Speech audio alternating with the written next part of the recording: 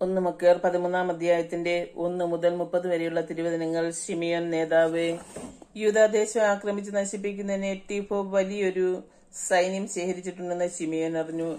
ജനങ്ങൾ ഭയചകിതരും പരിഭ്രാന്തരുമാണെന്ന് അവൻ കണ്ടു.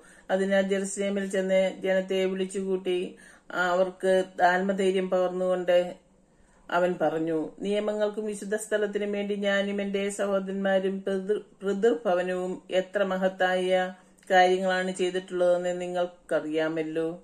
ഞങ്ങൾ നടത്തിയ യുദ്ധങ്ങളും അനുഭവിച്ച ദുരിതങ്ങളും നിങ്ങൾക്കറിയാം. ഇങ്ങനെ ഇസ്രായേലിനു വേണ്ടി എന്റെ സഹോദരന്മാരെല്ലാവരും ജീവൻ ഹോമിക്കുകയും ചെയ്തിരിക്കുന്നു. ഞാൻ മാത്രം അവശേഷിക്കുന്നു. ഒരു വിപത്ഘട്ടത്തിലും ജീവരക്ഷാർത്ഥം ഞാൻ മാറി നിൽക്കുകയില്ല എന്റെ സഹോദരന്മാരെക്കാൾ മേന്മ എനിക്ക് ഇല്ലല്ലോ. എന്റെ ജനത്തിനും വിശുദ്ധ സ്ഥലത്തിനും നിങ്ങളുടെ ഭാര്യമാർക്കും മക്കൾക്കും വേണ്ടി ഞാൻ പ്രതികാരം ചെയ്യും.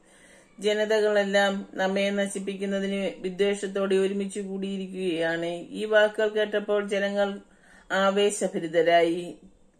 അവൻ അത്യുച്ചത്തിൽ വിളിച്ചു പറഞ്ഞു യുദാസിന്റെയും നിന്റെ സഹോദരനായ ജോനാഥാന്റെയും സ്ഥാനത്ത് ഇനി നീ തന്നെ ഞങ്ങളുടെ നേതാവ്. ഞങ്ങൾക്ക് വേണ്ടി യുദ്ധം ചെയ്താലും നീ പറയുന്നത് എന്തും ഞങ്ങൾ ചെയ്യും. യോദ്ധാക്കളെ എല്ലാവരെയും അവൻ വിളിച്ചുകൂട്ടുകയും ജെറുസലേം മതിലിന്റെ പണി തുടക്കത്തിൽ പൂർത്തിയാക്കുകയും അതിലെ എല്ലാ വശങ്ങളിലും സുരക്ഷിതമാക്കുകയും ചെയ്തു. വലിയൊരു സൈന്യവുമായി അബ്സലോമിന്റെ മകൻ ജോനാഥാനെ അവൻ ജോപ്പാനിലേക്ക് അയച്ചു. തദ്ദേശവാസികളെ തുരത്തി അവർ അവിടെ നിലയുറപ്പിച്ചു. ജോനാഥാന്റെ മരണം. യൂതാദേശം ആക്രമിക്കുന്നതിന് വലിയൊരു സൈന്യവുമായി ടിഫോ ടോളാമയിൽ നിന്ന് പുറപ്പെട്ടു. തടവിലാക്കപ്പെട്ട ജോനാഥാനും അവനോടൊപ്പത്തുണ്ടായിരുന്നു സമതലത്തിനെതിരെയുള്ള ആദിയായിൽ ഷിമിയോൻ പാളയമടിച്ചു സഹോദരനായ ജോനാഥാനും പകരൻ ശ്രമയോൻ നേതൃത്വം ഏറ്റെടുത്തുവെന്നും അവൻ നമ്മോട് ഏറ്റുമുട്ടാൻ പോകുന്നുവെന്നും അറിഞ്ഞ ടിഫോ ദൂതന്മാരെ അയച്ച് അവനോട് പറഞ്ഞു. താൻ അലങ്കരിച്ചിരുന്ന സ്ഥാനങ്ങളുമായി ബന്ധപ്പെട്ട് നിന്റെ സഹോദരനായ ജോനാഥൻ രാജകീയ ഭണ്ഡാരത്തിലേക്ക് നൽകേണ്ട പണത്തിനു വേണ്ടിയാണ് ഞങ്ങൾ അവനെ തടഞ്ഞു വച്ചിരിക്കുന്നത്. വിമോചനാകുമ്പോൾ അവൻ ഞങ്ങൾക്കെതിരെ വിപ്ലവം ഉണ്ടാകാതിരിക്കേണ്ടതിന് നാനൂറ് നൂറു താലന്ത് വെള്ളിയും ആൾജാമ്യമായി അവന്റെ രണ്ട് പുത്രന്മാരെയും തരിക. അപ്പോൾ ഞങ്ങൾ അവനെ വിട്ടുതരാം. ചതി നിറഞ്ഞതാണ് അവന്റെ വാക്കുകൾ എന്നറിഞ്ഞിട്ടും പണവും പുത്രന്മാരെയും കൊണ്ടുവരാൻ സിമയോൻ ആളയച്ചു.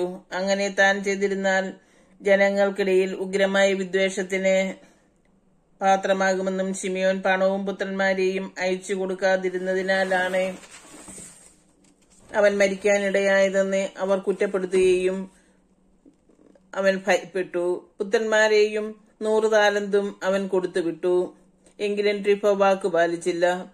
ജന- ജോനാഥാനെ വിട്ടയച്ചതുമില്ല. രാജ്യം ആക്രമിച്ചു നശിപ്പിക്കുക എന്ന ഉദ്ദേശത്തോടെ ടിഫോ ആദോരയിലേക്കുള്ള മാർഗത്തിലൂടെ ചുറ്റി വന്നു എന്നാൽ അവർ ചെന്നിടങ്ങളിലെല്ലാം ചിമിയോനും സൈന്യവും അവർക്കെതിരെ മുന്നേ- മുന്നേറിക്കൊണ്ടിരുന്നു. മരുഭൂമിയിലൂടെ വരണമെന്നും തങ്ങൾക്ക് ഭക്ഷണം എത്തിച്ചു തരണമെന്നും ആവശ്യപ്പെട്ടു. കോട്ടയിലുണ്ടായിരുന്ന ടിഫയുടെ അടുക്കൽ ദൂതന്മാരെ അയച്ചുകൊണ്ടിരുന്നു.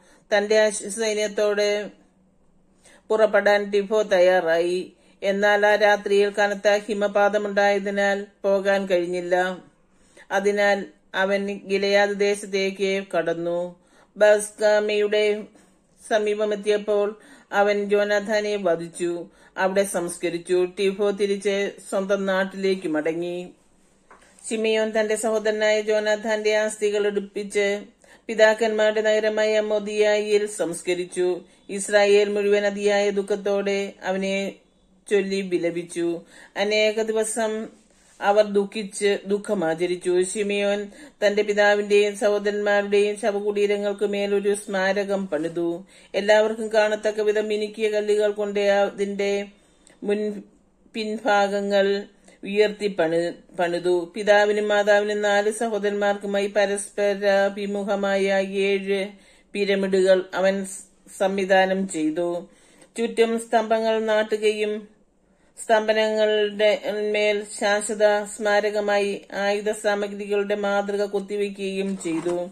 അവയോട് ചേർന്ന് സമുദ്ര സാമഗ്രികൾക്ക് കാണാത്ത വിധം കാണത്തക്ക വിധം കപ്പലുകളുടെ മാതൃകയും കൊത്തിവെച്ചു. മൊതേയിൽ അവൻ പണി കഴിപ്പിച്ച ഒരു ഈ ശവകുടീരം ഇന്നും നിലനിൽക്കുന്നു. ദൈവവചനമാണ് നാം വായിച്ചു കേട്ടത്. ദൈവത്തെയും നമുക്ക് സ്തുതിക്കാം.